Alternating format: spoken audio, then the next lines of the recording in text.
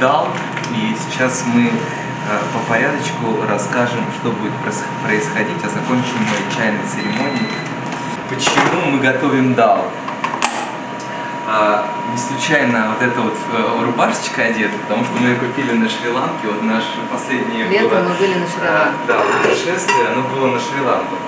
Нас научили прямо там готовить а, местные ребята с, с владельцы ресторана, да, которые, владелец ресторана, да, которого а, мы ели. А я на самом деле просто такая тема, что люди, которые не знают про образ жизни веганов, они думают, что мы ничего не едим или едим траву. Вот. А я э, как-то начала так освещать, что мы едим, и чтобы люди понимали, что и мама, например, чтобы не переживала, что я кушаю хорошо, все в порядке. Самое, самое потрясающее в тот момент, когда ты от чего-то отказываешься, это тебе открывается другая сторона жизни. И вот в какой-то момент э, нам открылось просто огромное количество продуктов. Да, я часто готовлю. Э, и, э, ну, я по настроению. Да. Я очень люблю готовить, но мне нужно вдохновение. Мы там были в какой-то просто забегаловке, забегаловке в Коломбо. Там люди, белых людей, в принципе, редко видели. И они все кафе, все эти шри-ланкийцы, они взбеленились, начали вокруг нас прыгать, у них, они едят руками, у них не было вилок, они пытались где-то нас достать, куда-то побежали в другое место за, за ложками, за вилками. Э, они ни слова не говорят по-английски. Все это, короче, как-то... Но там что было круто, там был такой поднос и банановые листы. И все, что ты ел, ты ел прямо с бананового листа. А. Это было вообще... На, на Новый же год несколько людей, ну, то есть ну, в основном... Все там, всегда просто приносят все, свое. Все приносят и свое. свое. И мы просим свое, и свое же едим, понимаете? Ну и кто-то тоже ест. Вот, кстати, Дал пользуется популярностью. Приятно. Была свадьба Гавра и, э, и, и Ани, и потом э, Тохи и Соньки, и они делали для нас э, отдельное, отдельное меню. меню. Это было так приятно и, просто. И вообще. люди вокруг нам просто завидовали, потому что нам приносили такие потрясающие блюда. Мы там просто... Вообще. Мы просто были в шоке. Нет, а главное то, что они помнят об этом. Мне кажется, что я бы вот забыла бы, честно. Ну. А тут они помнят и все нам специально вообще. На гастролях сложнее. Но в Китае, ну да, в Китае, ну, в Китае сложно. Но вот, нам вот. там помогла Ячень, наша студентка. Она да. нам записала иероглифы, как будет вегетарианское. Да, и да, мы да, показывали да, просто им всем. Вот это вот они, а, они очень пугались, но находили, что нам сделать. Единственное, что мы едим из животного происхождения, это мед. Вот я очень люблю мед.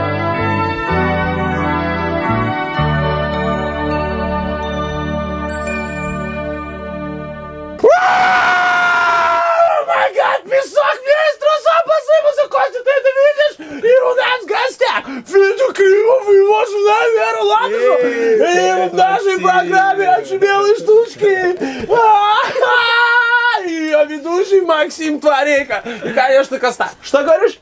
Скажи ты громче. Я не понимаю. Ты уверен?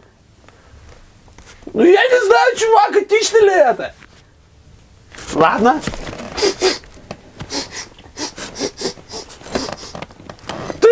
здесь действительно пахнет театральной династией! О май гад, сегодня мы будем создавать нечто творческое, потому что это очумелые штучки с Максимом Творейко. Итак, что вы умеете делать? Ко мне. Молодец. Что мы знаем? Может быть, какие-то песни, может быть, какие-то нереально движовые танцы. Так, песенка, не гуляй, Костя, вот подержи.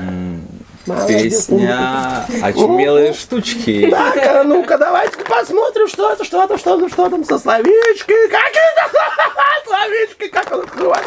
Зачем? Ты ставишь свои пароли. Ну, как, какие, какие? А, очумелые штучки, очумелые штучки. Итак, дорогие друзья, вы же понимаете, что это просто собачья чушь какая-то. Вы представляете, если вас так поздравят этой песни? Теперь я прямо сейчас предлагаю из этой песни сделать стихи. Я говорю а, строчку без одного слова. Ты ее подказ. Потом говорю еще одну строчку. Вы дополняете. То есть вы заканчиваете строчку. Понеслась. Да. Все готовы? Да. Поехали. Все, поехали. Сегодня я проснулся. Рано. А ты мне так же говоришь? Что? И я будто бы не запил стада. А ты сидишь и все Молчишь. молчишь, как будто бы. Дебилка. А я забыл, что Говорил. она как будто Очумела. кастрюлю сверху, Положил. а я не помню, что мы. Пьяный. Но. А ты забыла Туалет.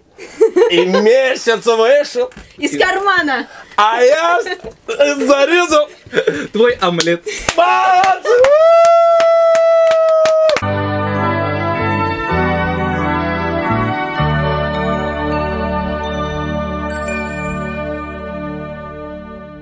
Это Будда. Мы его купили на Шри-Ланке. Он просто тут охраняет. Вот это вот чайный божок, его нужно поливать чаем. Он для... Для чего? Для благополучия, по-моему. Это чашечки, чайник. Это для пролива чая. Это инструменты для чайной церемонии. Сейчас это все будет как-то происходить. Это столик. На него проливается чай. Вот это э, китайский молочный лун. Харбинский. Вы понюхайте, это очень вкусно. Если делать чайная церемония, то, так сказать, ма, как то мастер, Мастер. который типа разливает чай, он является тем человеком, который там поддерживает беседу. И а, считается, что а, мастер должен поддерживать беседу, больше рассказывая о чае, откуда он привезен, как он появился. Э, Первое, что ты делаешь, считываешь запах. Первый пролив, он э, делается э, для того, чтобы согреть посуду, и в, в, те- в теории он называется э, для богов. Четыре чашечки, да? Соответственно, и дезинфекция, Дезинфекция. и всех приборов, и... И чтобы чашечки пахли именно этим чаем, а не какими-то другими. Стоп. А, э, Так сказал чайный мастер, что чай передается а, в руки и см- смотреть в глаза. Так что вот мы передаем вам чашечку молочного лука. Все мое внимание, оно направлено на какую-то одну вещь, то есть в данном случае на то, что ты, ты пьешь чай. И оно как-то тебя так останавливает, особенно вечером, когда ты пьешь чай. Да, Такое- никуда не бежишь, а просто вот Ты можешь остановиться действительно вот, ну, и вот побыть вместе с человеком. Хочу найти этот момент, когда ты приходишь и вы вместе что-то разделяете. Но и в, дан- в данном случае, вот иногда, когда мы делаем чайную церемонию, я прям получаю удовольствие, что мы просто сидим, даже можем ни о чем не говорить, но мы как бы делаем какое-то какое дело вместе. Мне кажется, это как бы важно. эм, Просто это важно просто и все. Очень люблю утро, это самое мое любимое время. И в какой-то момент э, я как бы увлекся вот э, йогой, и мне очень нравилось то, что у меня получалась такая длительная практика, там минут там на 40. И в тот момент, когда уже просыпалась Верочка, там э, часам, там, не знаю, ко скольки, к этому моменту у меня уже... К- этому моменту у меня происходила уже такая длинная жизнь с этой, с этой какой-то практикой, с какими-то маленькими там кусками каких-то каких записей, с кем-то я ему приготовил, приготовил там уже еду, которую я вот возьму с собой в контейнеры, какие-то уже какая-то такая прям часа два или три какой-то вот этой вот плотной жизни. Я встаю, завтракаю, умываюсь и выбегаю из дома. Обычно это занимает э, минут 40, э, а то и полчаса. Надо попить кофе обязательно. Без кофе я не человек. Вот, еду на репетицию. Обычно, ну, 90% случаев у меня есть утренняя репетиция. Вот, репетирую, обедаю в театре. Потом либо играю спектакль, либо еду в студию, в детскую или во взрослую, либо еще одну репетицию, Либо преподаватель. или преподавать к студентам. Вот, прихожу домой потом, часов в 10. Ну, может быть, еще схожу в спортзал, если есть время, но не всегда. И тут начинается мое времечко. Мое времечко посидеть, что-нибудь почитать, посмотреть, посмотреть сериальчик. И часов до трех ночи. Вот так вот. Проходила акция раздельный сбор ну, вот на площади мужества. Я просто в какой-то момент думал, ну смогу ли я и как это я когда первый раз пришел, я был в шоке.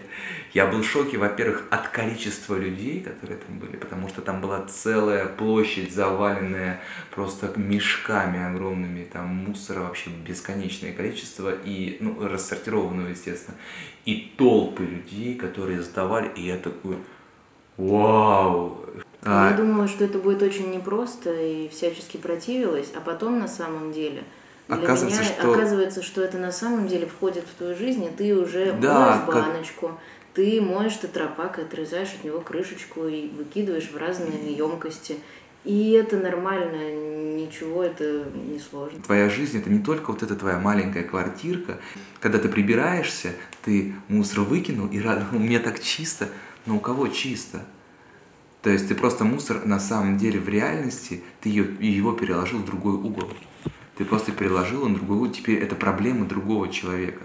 И, ну, и, и, и тогда планеты, и, и, планеты, да. И я очень рад, что вот э, в театре мастерская а, вот мы, выйдя из карантина, а, будем э, продвигать эту тему и ну, уже а, потом да, пока в, в зачатках, да. Было бы круто, если бы мы каждый взяли бы и сказали бы себе честно, ну, что останется после меня. Если после меня останется только гора мусора, то, наверное, моя жизнь не так-то удалась. Это мы, это нам сделали э, наши ребята из кислорода, когда мы преподавали в кислороде. Наши ребята сделали нам такие фигурки, нас. То есть это не фигурки, это куклы. Они прямо ими можно играть в театре.